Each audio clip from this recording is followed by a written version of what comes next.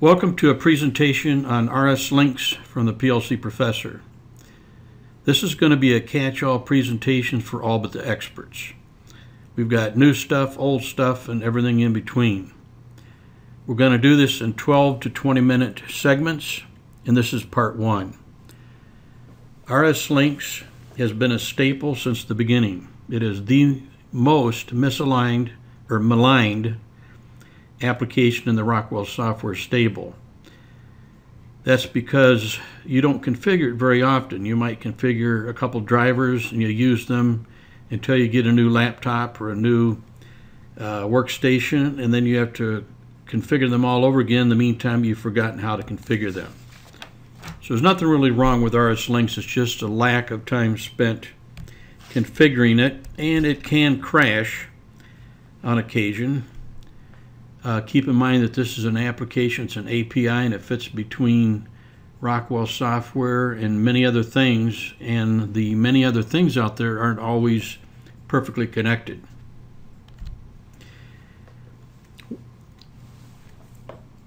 RSLinx and the three drivers.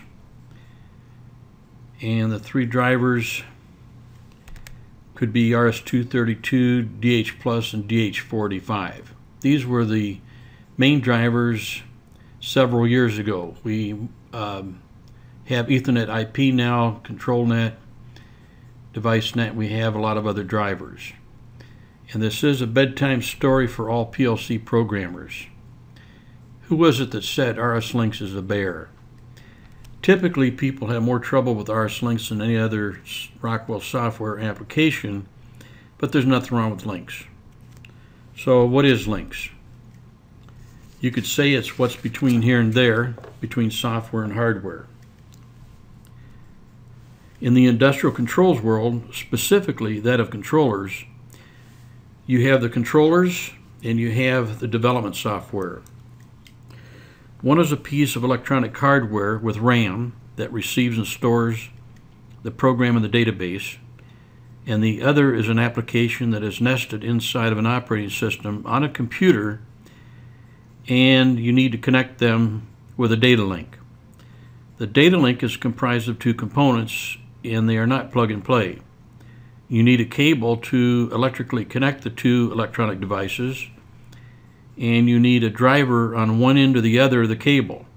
The cable is really a connector stretcher you know, if you actually give it some deep thought, it provides conductors to connect connectors. Picture in your mind a connector on each device, and we'll make it RJ45s. You recognize these DH45, Ethernet. These are most commonly recognized today, though, as Ethernet connectors. They are not ports if we see four of these on a device, we might say there's four Ethernet ports, but they themselves are not ports, they're just connectors. And they extend the conductors from the chipset out to where you plug the cable in. Picture a cable connecting the two connectors, and no matter how long the cable is, the connectors and cable are just conductors connecting the chipset in the PLC to the chipset in the controller. Now this brings us to the other component. The cable is really the simple part, but sometimes the most frustrating finding the right cable. That is the driver. Now I have to confess that I uh, I made up this graphic that says printer who. There is no such thing as printer who but you do recognize the collection if you have ever worked on a computer that that is connected to a network and has access to multiple printers. Probably the best example we could use is printing documents. That is, if everything goes as planned, the printed document should look the same regardless of the printer that you have printed it on, save the quality of the paper and the ink and some printers are faster, some are slower. They should all support the fonts that you selected within the word processor that you generated your document in. RS Who then is our printer, well, um, printer Who, which we're comparing to RS Who. then is our printer driver manager. You cannot print to a Canon IR5 or an Epson stylus unless you have a driver installed on your system for that specific model of printer. The driver is what manipulates the Word document into a format that the printers can work with. And every printer is different in some way. So Printer Who manages the drivers between the operating system and the hardware devices that you send the information to. Enter RSLinx and RS Who. RSLinx is a driver manager for the drivers provided by Rockwell Software and Allen Bradley. And RS Who is a separate application that allows you to browse the drivers. So RSLinx and RS Who are not the same thing. RS Who operates inside of RSLinx and it's a separate application. In the case of Rockwell software drivers, you can rename them anything you want as seen by the frivolous nature of the names seen here. These drivers interface the software on your PC through the cable to various models of Rockwell automation hardware. The newer operating systems have a friendly GUI, graphical user interface, for the devices that are connected to your computer. If you're using Windows 7, you will recognize this screen. And just as you can right click on any of the drivers for your devices and printers, you can also right click on the drivers in RSLinx RS Who. Well, now that you know what RSLinx is, a driver manager, how does it fit in with Rockwell Automation or Allen Bradley as some of us think of it? Okay, so let's take a look at the world of RSLinx Classic. This is an old graphic, uh, but it'll still work for us. And there is a lot more here than we're going to discuss. We're not going to talk about OPC servers, dynamic data exchange servers. We're not going to talk about application protocol interfaces other than to say that's where Linx fits as an API. If you are familiar with the seven-layer salad of communications, the OSI model, then you recognize the term API and you know where RSLinx fits in. There is one major structural flaw in this diagram, and that is the network category. It should be placed between the network device and any external hardware. We show it as a separate category. If you scan down through the list in these four categories, you will recognize all or most of the identifications. Another category of devices missing from this older graphic is networked I.O and you will see this as you configure the drivers and browse the network. You will see all the addressable I.O. interfaces, none of which are listed here. They would fit into the hardware category. This would include servo drives, variable frequency drives, and network bridge cards that bridge between two incompatible networks, such as the ENBT or the CNB or the DeviceNet bridge card, etc. Another omission from these groups is RSWho. You don't see that application here. It is a separate application that functions with RSLinx to browse the driven communication links. It would be found in the software category. This is only a partial list of software applications from Rockwell Software, not to mention many other manufacturers that purchase the right to use RSLinx drivers with their hardware and software. So if you look down through this list, you see some familiar folks. RSView 32, that would now be Factory Talk View. Uh, RSView Studio, Factory Talk View Studio, RSLogix 5, 500, 5000. Of course, RSLogix 500 also programs SLC 500 and MicroLogix family. RSLogix 5000 programs, CompactLogix, control logics, SoftLogix, drive logics. and then uh, Rockwell Software SQL, uh, database, RS Trend, Panel Builder 32, that's an older uh, panel view development software, not the oldest, it is 32-bit.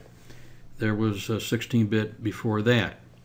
So you see that the Rockwell software software packages they basically are what uh, RSLinx was intended to interface to.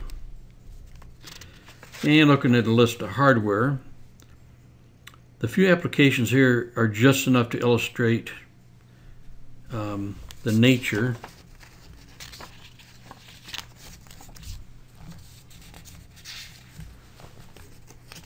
that's not definitely not all the hardware.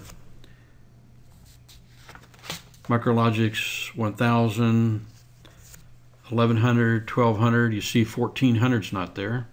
So there's 1000, 1100, 1200, 1400, and 1500. Naturally, the 1000 came first, then the 1200, then the 1500. Then they went back and slipped in the 1100 which has online programming and Ethernet, and then they slipped in a 1400 in between the 12 and the 1500 size-wise. Again, online programming and Ethernet. Then, of course, SLC 500, that's a fairly old product. By comparison, it's older than the Micrologix. And then even older than that is PLC 2, 3, and 5. There was also a PLC 4, but we don't list it here. There was a PLC 250 which most of you probably never seen one. And then, of course, ControlLogix and CompactLogix. There was something called FlexLogix. Uh, there was nothing wrong with it, but it was a footprint that wasn't very popular. Panel View, Versa VersaView, SoftLogix 5800. So that would be in the hardware category.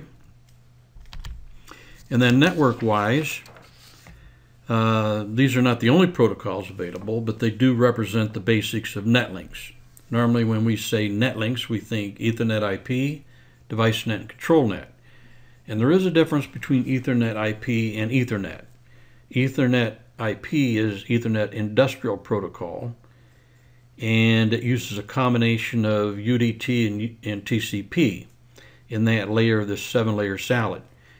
Um, so there's Ethernet devices driver, then there's an Ethernet IP driver. And then, of course, uh, Data Highway Plus, that's probably the, mm, not really the oldest of the bunch, but for a network, it's the oldest of the bunch here. Uh, the DF1 serial goes back quite a ways, Data Highway 45, and then of course DeviceNet and ControlNet. And there are some other networks now that uh, Rockwell Software works with. And then of course, here's a list of some um, applications that you can interface to the hardware using DDE and OPC. Object link embedding for process control dynamic data exchange. You can create topics in Excel and you can actively populate a field or a cell in Excel with data right from any of these controllers. But there's just enough here, Excel, Access, Lotus 123, etc., etc., to give you an idea of what is actually in that category.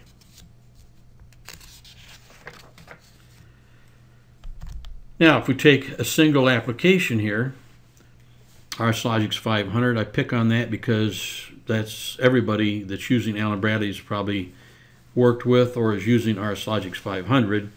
And I picked a Slick 500 um, however, because Slick 500 comes in several flavors, you can use um, RS232 DF1 driver. Uh, you can use DH45. So the Slick 500 comes in something called a 501, 502, 503, 504, and 505. The 501 and 2 are pretty much obsolete. The 503 is DH485, the 504 is DH Plus, and the 505, which is the most popular, is Ethernet. So you've got RS RSLogix 500. It interfaces into the seven-layer OSI model through an API. And down at the hardware level, it's going to be a Ethernet NIC. It's going to be a PCMK M PCM CIA type card that slides in the older processors or RS-232 9-pin sub-D shell on the back, USB through an adapter, etc. And you can go through any of these four networks, Ethernet, DH+, DH45, DF1 serial, to the SLC 500 through one of these network devices. Now, RSLinx comes in several flavors. Uh, comes bundled with many development applications. It's not really free, it just comes bundled. Actually, it is free. You can go and download RSLinx Lite right off the website. Matter of fact, I have a video on the YouTube channel that explains how to download uh, MicroStarter Lite, RSLinx Lite, and RS500 Emulate and, and put together a simulator. And then single node allows one DDE OPC topic with one device. OEM allows many topics with many devices plus the C-API interface. The SDK or software development kit allows you to kind of make RSLinx your own. Professional, which is really cool, allows online data monitoring and ladder viewing. So actually RSLinx Professional is a nice tool to have. You can actually go in and look at the logic without opening RS Logix 500, but you can't edit it. You can only look at it. RSLinx Gateway is everything that you see above plus connecting clients over TCP IP networks. So Gateway does everything, including letting you set up your PC or APC as a gateway to the network. I think this is going to be enough for part one. Uh, when we come back to part two, we'll talk about some of the helpful RSLinx utilities like backup, restore, launch control panel, and the help files. So this is the end of RSLinx part one. Be sure to look for part two. On YouTube, I never know how these are going to line up when you search on them, so I'm trying to be more careful about how I load them up and how I title them. Thank you.